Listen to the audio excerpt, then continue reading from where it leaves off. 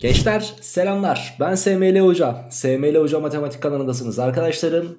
Metin yayınlarının Modern Problemler adlı kitabının çözümleriyle kaldığımız yerden devam ediyoruz. Nerede kalmıştık? Ters orantıda kalmıştık arkadaşlarım. Önce konusundan bahsedeceğiz. Daha sonrasında da örneklerini çözeceğiz ve daha sonrasında aritmetik ortalama ortalamaları görüp test kısımlarına geçeceğiz arkadaşlar. Bu bizim ikinci videomuz. Keyifli bir kitap olduğunu söylemiştim. Problemleri halletmek isteyen herkesin edinmesi gereken bir kitap mutlaka.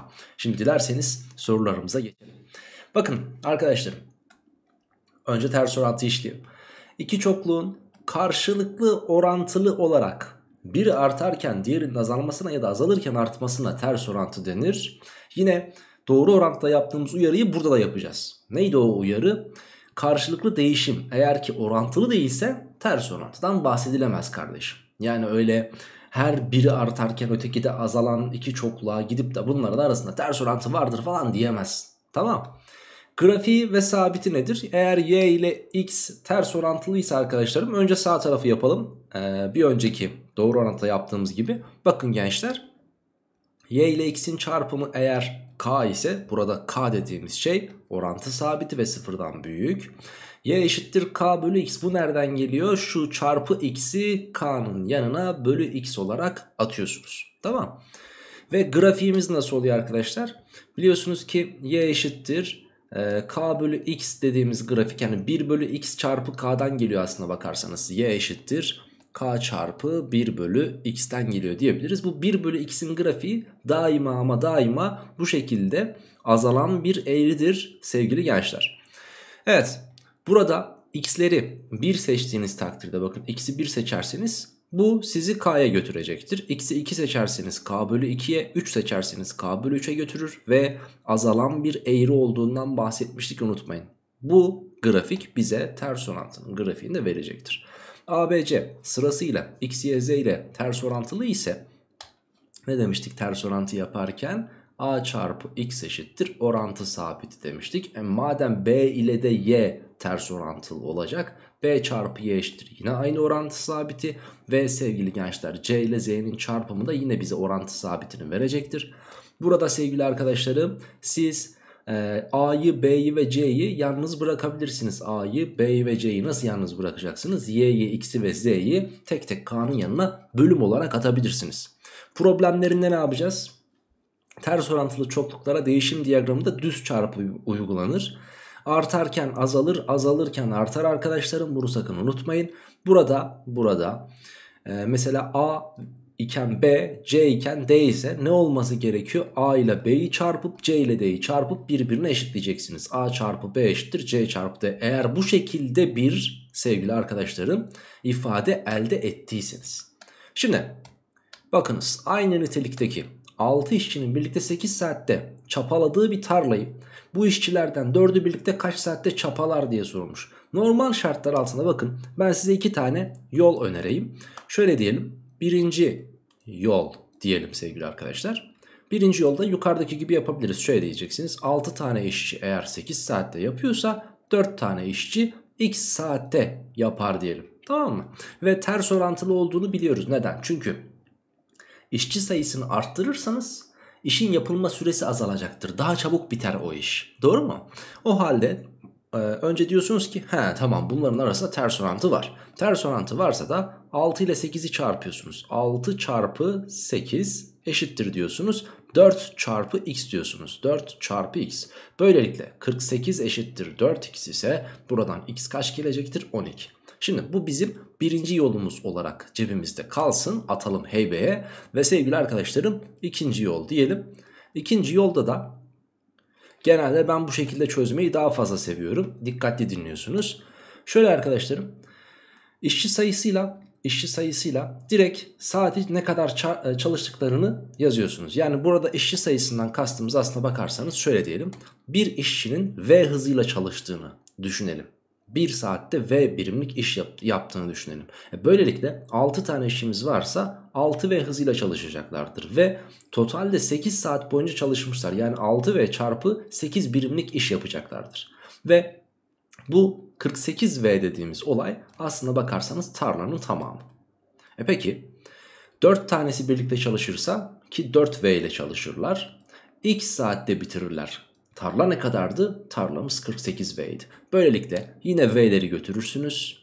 Ve yine her iki tarafı 4'e bölecek olursanız x'i yine 12 saat bulursunuz sevgili gençler. Genelde ikinci yolu tercih ediyorum. Çünkü doğru orantıda ters orantıda aynı diyagramı kullandığınız için şurada tamam mı? Bazen çapraz çarpıp mesela ters orantıda çapraz çarpıp işleri sarpa sardırabiliyorsunuz. Bunları yapmayın arkadaşlarım. Düz mantığı kullanırsanız her zaman daha başarılı olursunuz. Bu benim fikrim size önerim. İkinci soru. Bir ayakkabı imalathanesinde çalışan bir işçi alınan siparişi 24 günde tamamlayacaktır. Şimdi işçimiz V hızıyla çalıştığını düşünelim ve 24 gün boyunca aynı V hızıyla çarpıyor. Demek ki arkadaşlarım bu ayakkabıların siparişi 24 V'lik bir işmiş. Tamam bu cepte. Buna göre işçi çalışma hızını iki kat arttırırsa. Şimdi burada dikkat etmemiz gereken kelime bu. Arttırmaktan bahsediyor. V'nin çalışma hızı V'ydi ya. 2 katı ne? 2V. Şimdi sen V'yi 2V arttırırsan eğer ne yapar? İşçinin hızı 3V'ye çıkacaktır. 3V ile çalışarak kaç gün çalışırsa 24V'lik siparişi tamamlayabilir diye soruyoruz. E madem öyle her iki tarafı 3'e bölerseniz V çarpı X eşittir. 8 çarpı V yapar. V'leri de götürürseniz X'in 8 olması gerektiğini ve cevabımızın da bu olduğunu göreceksiniz sevgili gençler. Kitabımızın 5. sayfasına geçiyoruz. 3. sorumuzdayız. Şimdi bir miktar para yaşları 5, 6 ve 10 olan 3 kardeş arasında yaşlarıyla ters orantılı olarak paylaştırılıyor. Şimdi bunlara dikkat ediyorsunuz bakın. Bununla alakalı ilk örnek. Yaşlarımız neydi? 5, 6 ve 10. Şimdi ters orantılı deyince şunu yapmak zorunda değilsin. Hani k bölü 5, k bölü 6, k bölü 10 falan demek zorunda değiliz. Daha sonra bir de onların paydalarını falan eşitleyip uğraşıyoruz ya. Gerek yok bak buna. Şöyle yapıyorsun. Sen bu ters orantıyı doğru orantıya çevirebilirsin. Kafan karışmayacak şekilde. Bak 5, 6 ve 10'un hemen en küçük ortak katını buluyorsun. Hocam en küçüğünü değil de bir sonrakini bulsak olur mu? O da olur. Hiç sıkıntı değil. 5, 6 ve 10'un en küçük ortak katı 30. En küçük ortak katı 30. Ve sen diyorsun ki 5 e, yaşındaki elemana o zaman 30'u 5'e böldünüz. 6K kadar para düşer. Tamam. 30'u 6'ya bölüyorsun 5K kadar para düşer. 30'u 10'a bölüyorsun 3K kadar para düşer. Böylelikle yaşı en büyük olana en az miktarda para düşmüş oldu. Yaşı en küçük olana en, az, en fazla miktarda para düşmüş oldu. Ortancı zaten hala ortanca. E peki çok güzel. Demek ki ee, ne kadar para düşmüş bunlara? 6K, 5K, 3K. Diyor ki ortanca kardeşin yani şunun payına ne kadar düşmüş? 240. Demek ki bu 5K neymiş arkadaşlarım? 240'mış. Peki bize neyi sormuş? Biz arkadaşlarım şunu sormuş. Paylaştırılan toplam para. E paylaştırılan toplam para 6K, 5K daha 11K, 3K daha kaç K yapar? 14K yapar. Yani diyor ki 5K 240 sa 14K ne kadardır diye sorulmuş bize. Burada da içler dışlar çarpım yapabiliriz. Böylelikle sevgili arkadaşlarım 240 ile 14'ü çarpıp 5'e bölersek cevabı buluruz. 240'ın içerisinde 5 120 olmuş olsaydı 24 diyecektik. Demek ki 48 defa. Biz ne yapacağız arkadaşlar? 48 ile 14'ü çarpıp cevabı söyleyeceğiz. 48 kere 14 de 4 kere 48 160 192 yapar. 1 kere 48'de 48 yapar zaten. Bunları topladığınız takdirde 2, şurası 7, 4 bir daha 5, bir de elde vardı 6, 672 bize cevabı verecekmiş diyebiliriz sevgili gençler. Doğru cevabımız buydu. Geçtim 4'e. Bir miktar turistimiz var. Ee, bu turistler yolculuğa çıkan bir kruz gemisinde hani o büyük gemiler var ya e, Türk limanlarına yanaşan ama hiçbir zaman binemediğimiz e, turistle yol, yolculuğa çıkan bir kruz gemisinde yolculara 50 gün yetecek kadar yiyecek varmış. Şimdi 50 gün yetecek bir kumanya almışlar yanlarına. Şimdi gemi diyor 10 gün sonra 10 gün sonra bir limanda durduğunda diyor. Yani 10 gün boyunca aç kalmadılar bunlar. 10 günlük kumanya yediler bir kere. Tamam mı? Şimdi biz burada turist sayısına turist sayısına x diyelim. Anlaştık mı? 50 gün yetecek kadar almışlardı. Ama 10 gün yediler. Yani bizim e, toplamda 50x kadarlık bir yemek kapasitemiz vardı. 10 gün boyunca bunlar 12'sini yediler o zaman. 10 çarpı 2'sini yediler. Toplamda ne kadar yemek kaldı? 40x kadar yemek kaldı arkadaşlar tamam 30 tane turist daha binmiş arkadaşlar yanaşılan limanda. Yani bizim yolcu sayımız x iken ne oldu? x artı 30 oldu. Şimdi toplamda ne kadar yemek vardı? gemide ne kadar kalmıştı? 40x kadar kalmıştı. Şimdi ben diyorum ki x artı 30 x artı 30 e, yeni gelen yolcularla beraber bu kadar kişiye bu kumanyalar 32 gün yetiyormuş. Yani x artı 30 da 32'yi çarptığım takdirde bu gemideki zaten olan hali hazırda olan yemeğe eşit olacak. Yani 40x'e. O zaman dağıtalım. 32x artı 30 çarpı 32 diyelim. Bunları çarpmakla uğraşmayın ha bak taktik bunlar eşittir. 40x diyorsunuz. Dedikten sonra da bakın arkadaşlar 32x'i ben sağ tarafa postalarsam 30 çarpı 32 eşittir 40x'ten 32x'i çıkardınız 8x yaptı. Her iki tarafı 8'e bölüşün. Bunu 8'e bölün bak şu direkt 8'e bölünüyor. Kaç yapar? 4. 4 kere 30 kaç yapar? 120. 120 eşittir ne yapmış oldu? x. Bize neyi sormuştu? Kruz gemisi ilk hareket ettiğinde gemide kaç tane turist bulunmaktadır? E biz ne demiştik zaten turist sayısına? Gemideki turist sayısına x demiştik. Zaten x'i bulduk. O halde cevabımızın da biz 120 olması gerektiğini gönül rahatlığıyla söyleyebiliriz sevgili gençler. Devam ediyorum 5. sorumla sağ üst tarafta. Birbirini çeviren 3 tane dişliden birincisi 3 kez döndüğünde ikincisi 6 kez ve üçüncüsü 8 kez dönüyor. Şimdi dişliler var arkadaşlarım. Bu arada hani e, bu sorularda dişli sorularında şunu düşüneceğiz. 1. Yarı çapı fazla olan iki tane dişli varsa, iki tane çark varsa yarı çapı fazla olan daha az döner. Yarı çapı küçük olan daha e, yarı çapı büyük olan daha az döner. Yarı çapı küçük olan daha fazla döner. Dişlerle kıyaslayacak olursak dişi fazla olan az döner. Dişi az olan fazla döner. Yani bunların aralarında yarı çapla dönüş sayısı arasında ya da tur arasında diş sayısıyla tur arasında mutlaka ters orantılar vardır. Şimdi o halde düşünelim. 3 tane dişlimiz var.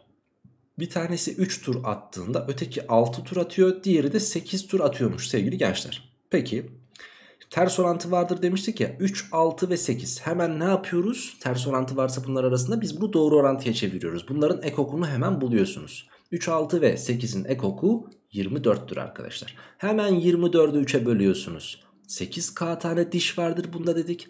24'ü 6'ya böldünüz. 4K tane diş vardır. 24'ü 8'e böldünüz. 3K adet diş vardır diyorsunuz. Peki bunları dedikten sonra sorumuzu okumaya devam ediyoruz. Bu dişlilerden toplam diş sayısı bu dişlilerdeki toplam diş sayısı 180'miş. E şimdi şu diş sayısı değil mi? Bu da bu da. Demek ki bunların toplamı hop hop neymiş? 180'miş. 8K 4K'da 12K 12K 3K'da 15K yapar. Ve 15K 180 ise sevgili gençler K'mız burada 12'dir diyebiliriz. Ne demiş? Büyük dişlide kaç tane vardır? Şimdi büyük dişli hangisi? Diş sayısı fazla olan. E, diş sayısı fazla olan şu değil mi arkadaşlar 8K? E, madem öyle K'yı 12 bulduk demek ki 8 çarpı 12 olacak bizim cevabımız. 8 kere 12 de 96'nın ta kendisi yapar. Doğru cevabımız buydu deriz. 5. sorumuzu da çözdük. Devam ediyoruz 6. soruyla. Bakın klasik sorularla başladık. Yeni nesil sorulara doğru gidiyoruz. 6. soru yeni nesil ve orta halli olan bir soru. E, de, ne demiştim sorularda gitgide zorlaşıyor zaten. Aşağıda Pelin'in cumartesi ve pazar günü yaptığı koşunun mesafesi, ortalama hızı ve yaktığı kaloriyi gösteren telefon uygulamasının görüntüsü verilmiş. Peki bakın koşu mesafesi 2 kilometre, ortalama hız 4 kilometre bölü saat, yakılan kalori de 400 kilokalori. Koşu mesafesi 4 ortalama hız 5 yakılan kalori yüksek ihtimalle buradaki yakılan kalori sorulacak bize. Bakın ne demiş Pelin pazar günü kaç kilokalori yakmıştır? Pazar günü burasıydı ve şurası sorulmuş arkadaşlarım tahmin ettiğimiz üzere. Şimdi gelin biz bunu bir el atalım çözelim. Ne, yap ne yapabiliriz? Şimdi bize demiş ki bakın. Şekilde verilen birimler cinsinden koşu mesafesi. Koşu mesafesine ne diyelim? X diyelim. Tamam. Koşu mesafesine X diyelim. Yakılan kalori. Yakılan kaloriye sevgili arkadaşlarım Y diyelim. Ve ortalama hız. Hıza da V diyelim. Tamam genelde V diyoruz ya o yüzden V yaz. Şimdi ne demiş bize? Koşu mesafesi yakılan kalori ile doğru orantılı. Koşu mesafesi olan x yakılan kalori y bununla doğru orantılı. Ortalama hızın yani v'nin karesiyle de ters orantılı. V dedim x yazdım bak sen öyle yapma tamam mı?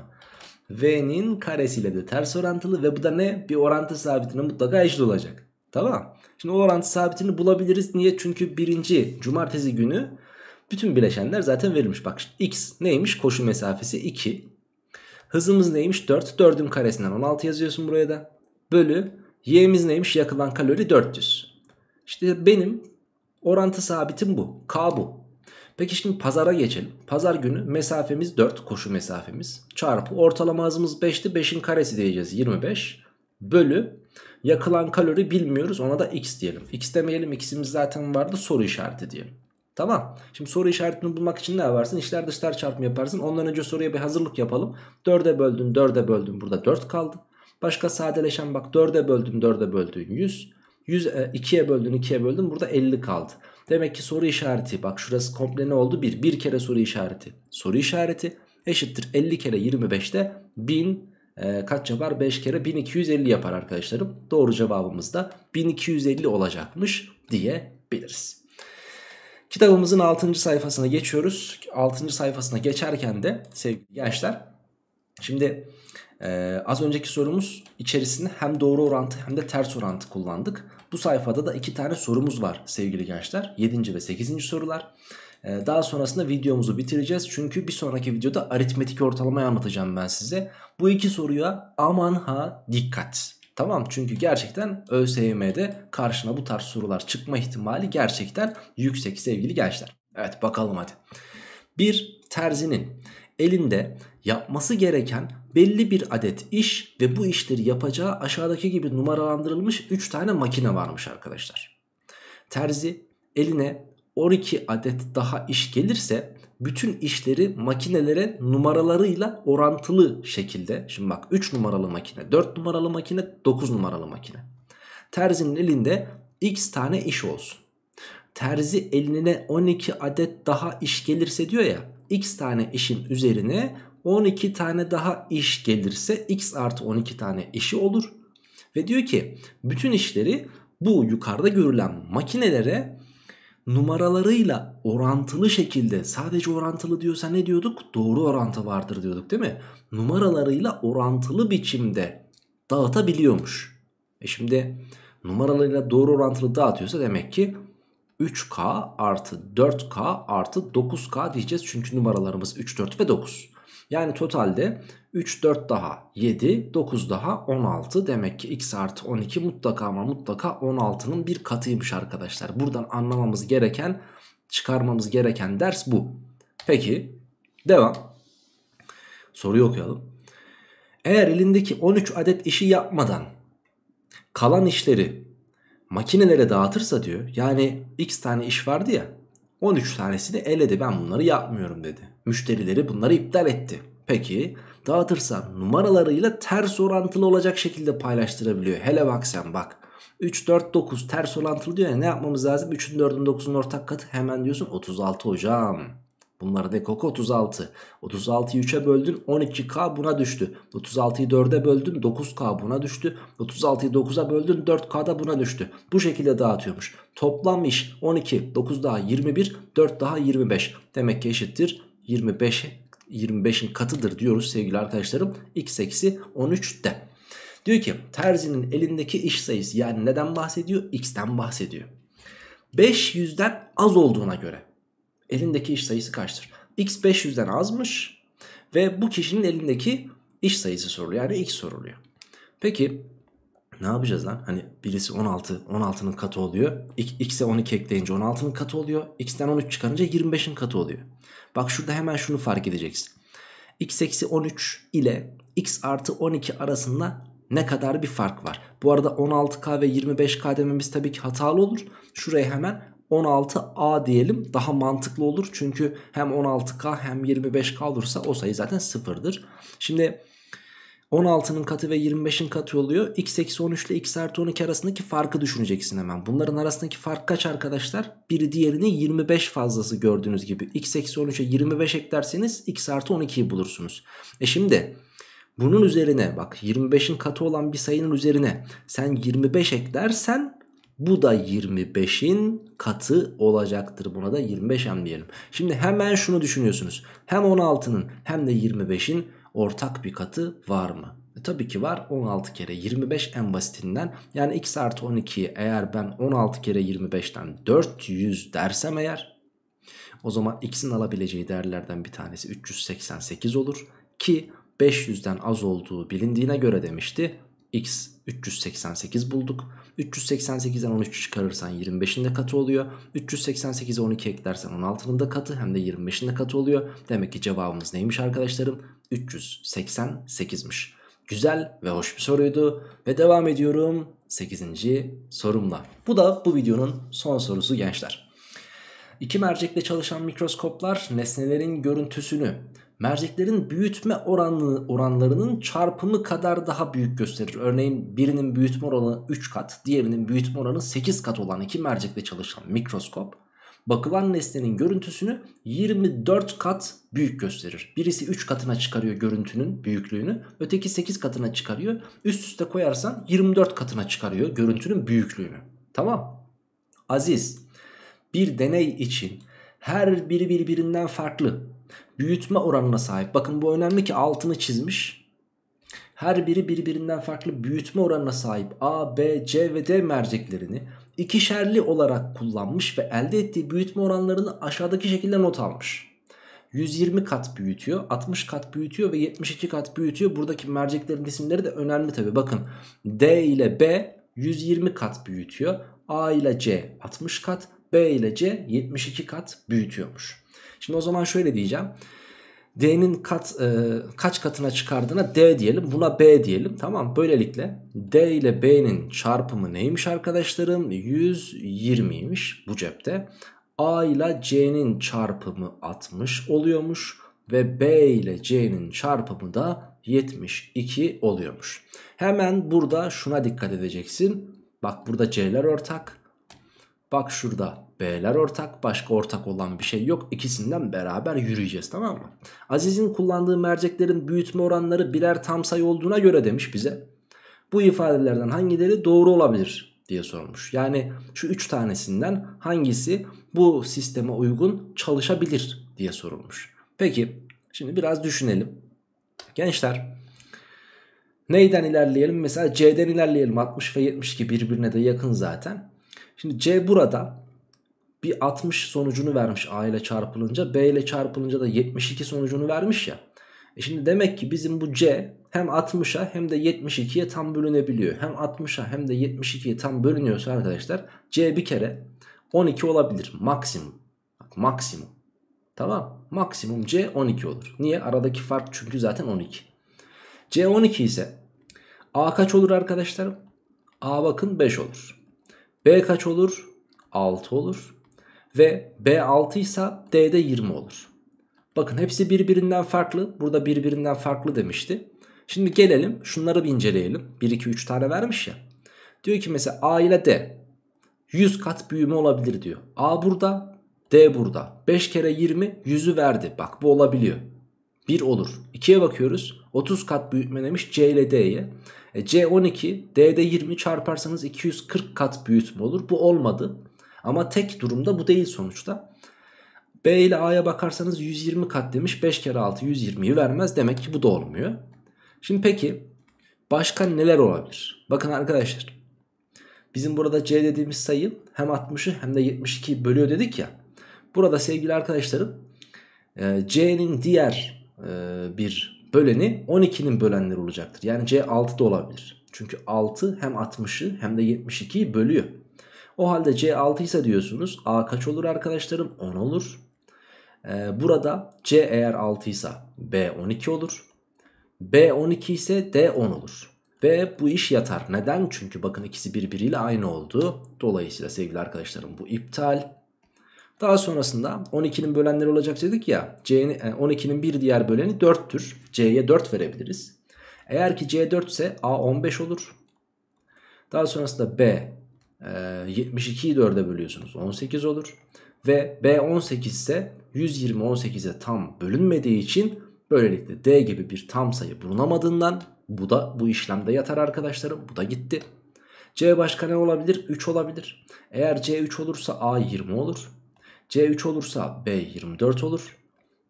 Ve sevgili arkadaşlarım B 24 olursa D de 5 olur. Şimdi bir de buna bakacağız. Bak hepsi birbirinden farklı geldi. Olabilir sonuçta.